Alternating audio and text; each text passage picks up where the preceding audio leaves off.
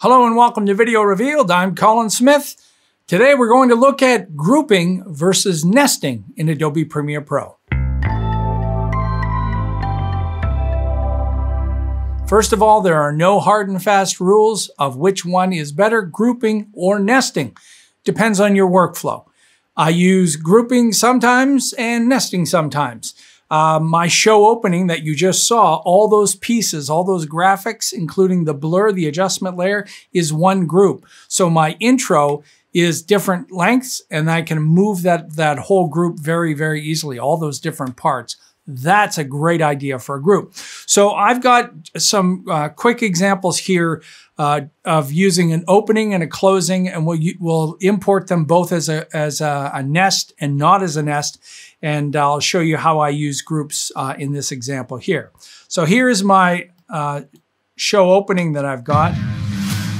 So there's a bunch of clips in here, lots of um, effects going on and a soundtrack. And you'll notice that the soundtrack continues after the last clip.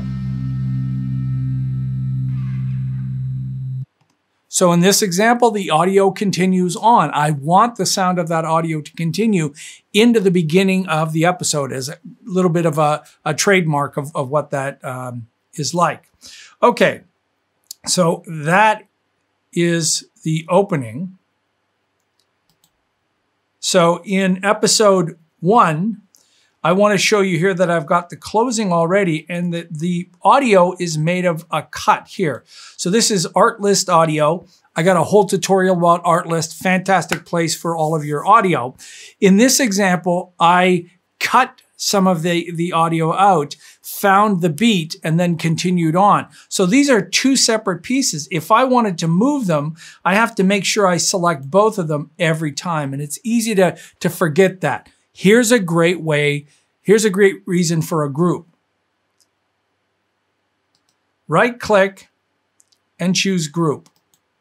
Now those two are grouped. When I click on one, it will select both. And when I move one, it'll select both. Now I could have also selected the credits here. This is the rolling credits at the end.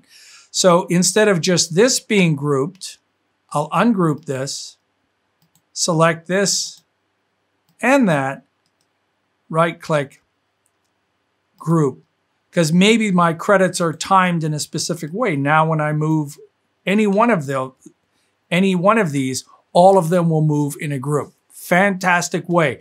Um, whether they're multiple elements on multiple tracks or just a whole bunch of cuts that you you'd never want those to change, uh, but you don't want to render them out. So make them into a group. Okay, so you remember the, the show opening. Here's the opening here. It's its own sequence. If I bring this in as a nest, and that's what this is, when, when this is turned blue, it means it's a nest.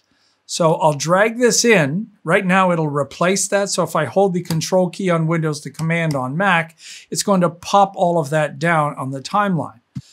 But there's a problem. The nest, remember in the original opening,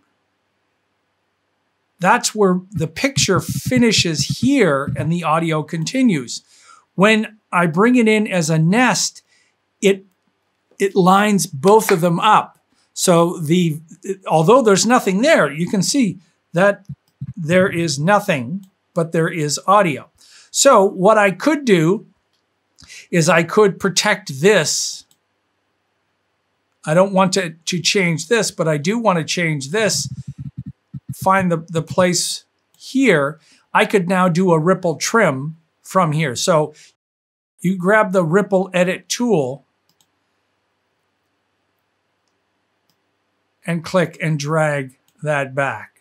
You can also use a keyboard shortcut if you still have the same move tool and you hold the control key down on Windows, the command key on Mac, you'll get the same thing. So now the opening edits, the opening picture ends, but the audio continues on. Another way to do that, instead of bringing this in as that uh, as a nest, if you have that turned off, and I bring in the same opening, and again, this time I'm, I'm going to do the same thing. I'm holding control or command. It pops everything down. It still moves it down to the duration of the end, but this is a little easier. I can protect this, just click in here and delete, and now it does the same thing. So for me, a nest didn't work. I want to have all those different pieces to the show opening just in case I need to tweak something or, or work with it. Okay, so now let's look at the ending and do the same thing. So here's the ending th that I've got. Instead of the credit roll starting right away, it just starts to tease you a little bit. So we see hear a little bit of the music coming in and bam, So you see the credits aren't coming in yet. And now they're coming in.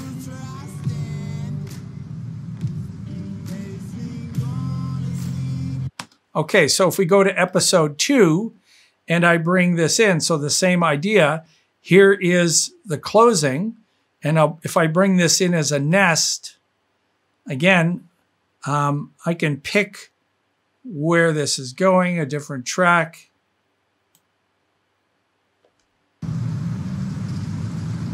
Hit play. Music starts up. Oh, maybe I need to bring that in a little sooner.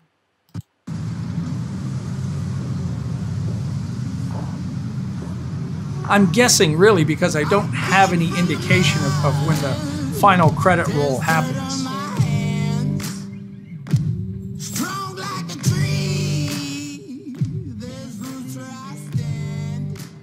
And again, if I turn that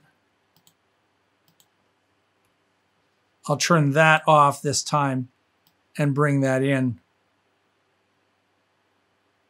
Now I can see where the credits roll right there. And remember, I could group this. So I'll select that, group it.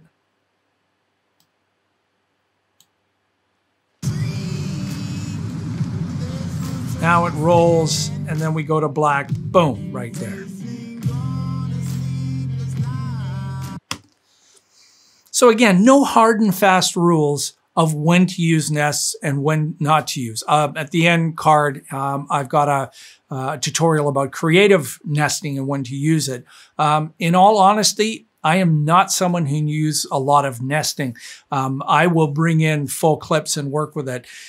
It, it does make sense if you want one show opening to be editable and changeable in multiple shows. So anytime you edit that opening, if that's a nest in 10 or 50 other clips, then they will update. So in that example, that's a good idea, but you got to remember the duration will not change. So if the show opening is always 10 seconds and then you cut to the next picture, fantastic. Change the show opening as much as you want. But if you change that to eight seconds, it doesn't mean in all the, the resulting timelines, they'll all shift over. You would have to manually go in there and move each one of those. So they've got their uses, they've got their pluses, they've got their minuses. You just figure out which one works best for your workflow.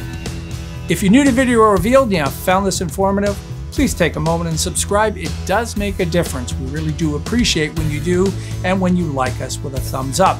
If you want to support us some more, you can do that through PayPal. There's a link in the description, and one on the uh, front of the channel. Oh yeah, and by the way, this was Artlist Music, and all of the clips in here were supplied by Adobe Stock, the premier supplier of stock video, images, illustrations, motion graphics, templates, and 3D objects. Find the perfect asset for your next video project. Till next time, I'm Colin Smith, and I'm here to get inside all the niggly bits inside Adobe Premiere.